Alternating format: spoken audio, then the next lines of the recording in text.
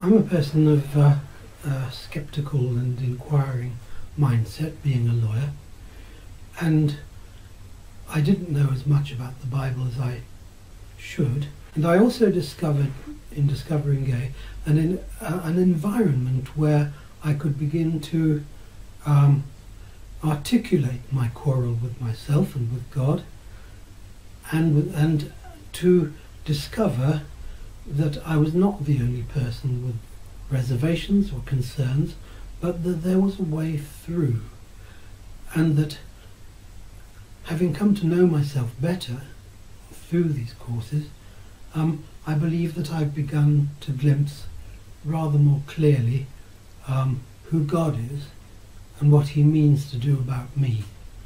This is important for me. Um, it's a it's an unfinished work. Um, I don't know where it's going to go, um, but certainly having been part of this course is part of the making of my later years, and as such I appreciate it, I need it, and I want it.